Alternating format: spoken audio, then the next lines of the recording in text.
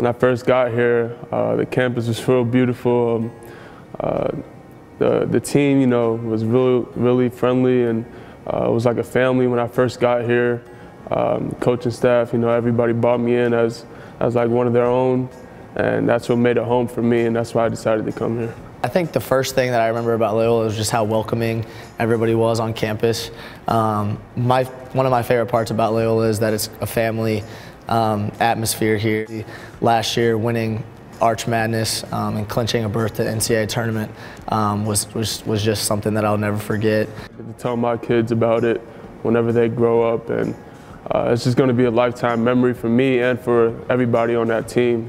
Uh, with my teammates, uh, I, I, think of them as my brothers, nothing less.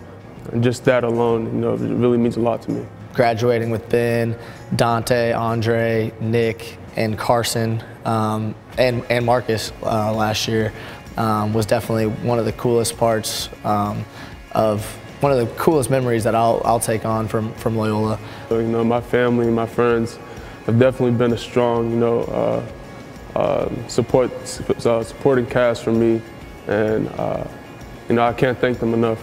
I really feel like I'm a, I'm a better person now than I was when I first got here. Just I think that whole run last year, um, I'm just real thankful that I've gotten to experience some of the things I've experienced here. And thank you to all of the fans and my fellow students here at, at Loyola. Made the experience great for me, and I hope that our team has created more excitement for you and um, helped you enjoy your college experience as well. To the students and everybody on Loyola, I just want to thank you for, for being there for me and uh, being there for us. Every time we play a home game, I just can't wait to get out there on the court because I know you guys are going to be loud and crazy.